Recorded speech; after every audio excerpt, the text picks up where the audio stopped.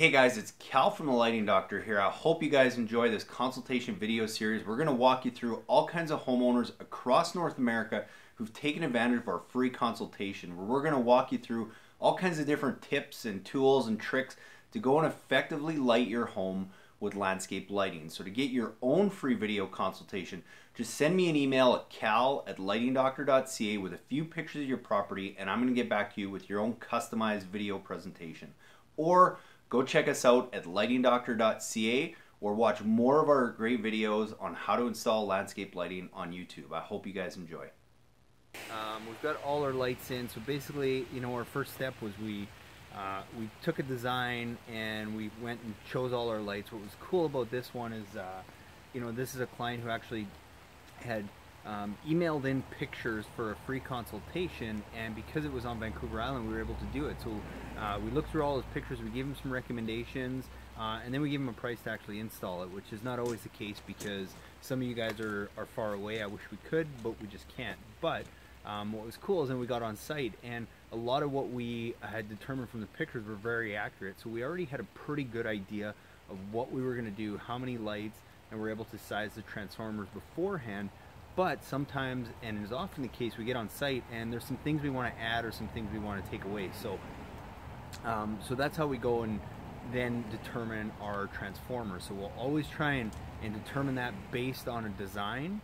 Um, but the key is just leave it a little bit bigger if you're not sure because you always want to make sure you have enough room. And if you're using an LED system, um, it's not as crucial that you get it uh, the exact transformer as when you had a halogen system. With a halogen system, you had transformers that had multiple taps, and you really had to be careful that you were getting the right voltage to the right lamps, or you were just going to burn them out a lot quicker. But if you're uh, if you're getting an LED system, a lot of times you'll see on the box it'll say that your LED is usually rated from 9 volts all the way to 15 volts, which means it's going to operate within that range. Whereas halogens was usually between 11 and 12, so you really had to do your math.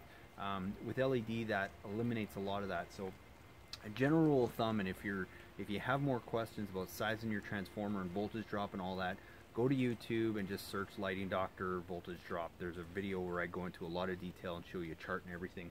Uh, but general rule of thumb, uh, on 300 feet of wire, you can put up to 100 watts and not really have any voltage drop issues as long as you're using a larger transformer like this that has a 15 volt tap, which means you're starting at 15 volts and all the way down the line you might get down to 10 volts, but that's still going to run that light and it's still going to be as bright as it should because that bulb is rated from 9 to 15 volts. Again, assuming it's a it's a good one. Um, that's why we always say not all products are created equal. So you have to do some due diligence there. Uh, we do a lot of that uh, in our kits, but um, just just buyer beware. Um, so basically, it's really simple to go and size your transformers. You take all your lights, you add up all the wattage of all the lights. So if you have a bunch of 5 watt up lights and you've got, um, let's call it 20 of them, well that, uh, that comes out to 100 watts. But you want to size that transformer a little bit larger because depending on the efficiency of that bulb, uh, the more efficient it is, the closer that, that actual wattage is going to be to, to 5 watts, but the less least efficient or the lesser efficient bulbs are going to sometimes be almost 10 watts, even though the box says 10 watts, and that's something called their their actual. It's called their VA, their actual wattage. Um, so you got to be careful about that. That's why we always say size it a little bit more. But general thumb, add up all your lights, um, add up all your lights, and then size your transformer 20, 30, 40 percent more than that. Uh, if you don't want to have to worry about voltage drop, get a good transformer that has a 15 volt tap, and you can run 100 watts on 300 feet of line without running into that issue of, of uh, losing any brightness at the end of the line. But that's basically it when it comes to a transformer. The only other thing I was going to mention is the timer options. Now, um, you know, you see a lot of the dinosaur looking um, timers where it's this little digital or this little um, analog wheel that you got all these little tabs you got to stick out. They got these um, these different digital timers that you got to be a rocket science to operate. The nice thing is that a transformer like this, um, we use one of these. It's from uh, it's from Wion. It's a Wi-Fi timer.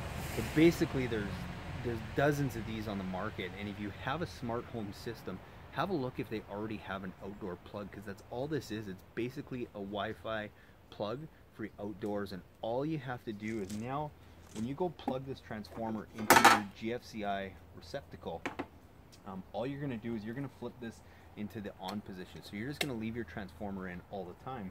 But this little thing here where usually you would have a photocell, which again I highly recommend against because photocells just fail all the time. You have to have your transformer in the right position because if it's in a dark shaded position, your lights are going to be on all the time. So all those kinds of things. But to get back to it, basically where it says to plug in your timer or your photocell or whatever, all you have to do is unplug that plug in your, your Wi-Fi plug, whether that be this one or whether that be one uh, based on the smart home system you have. Go and plug it into there, and then you plug this guy into into your um, to your plug-in, and then you just close that up, leave it in the on position, and then you can go and operate everything from your Wi-Fi plug-in. Usually, most of these you don't need a hub anymore. Um, they have their own app, so you can just go download it, and usually walks you through how to do that in two or three steps. And all of a sudden, now you have a, a Wi-Fi landscape lighting system, but you haven't paid tons and tons of money for it. Another thing that we do a lot of times, if because I get asked all the time, well, my front yard, my backyard, I want to be able to zone them different so I can turn them on at different times, kind of like a sprinkler system. There, there is some really good systems that are out there that do that. Um, they tend to be quite costly. They're great systems, but it depends on your budget. If you don't want to do that and spend that kind of money on a system, just go and use a separate transformer. You know, in this case, on this project, that's what we're doing. We've got one of these for the backyard and one for the front. Luckily, because we have this timer, we can run both those controllers on the exact same app and set them up with totally different schedules, uh, which is what's cool about going and adding something like this your transformers. And it doesn't have to be this one.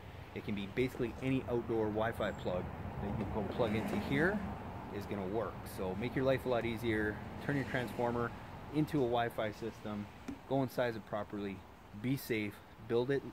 Um, select it larger in case you want to add on down the road too. So hopefully that helps answer your transformer questions. But like I said, if you need more definition on uh, voltage drop and stuff, go to uh, YouTube and search uh, voltage drop lighting doctor, and I guarantee you'll find something. Hey guys, I really hope you enjoyed that video presentation with some great tips and tools of how to go and properly and effectively light up your landscape. And be sure if you want your own free consultation video just like that one, send me an email at cal at lightingdoctor.ca with a few pictures of your property and we'll get back to you with some really cool ideas and ways to go and effectively light your property. And be sure to watch the videos after this one for more tips on how to install landscape lighting as well as how to light up your landscape the best way possible.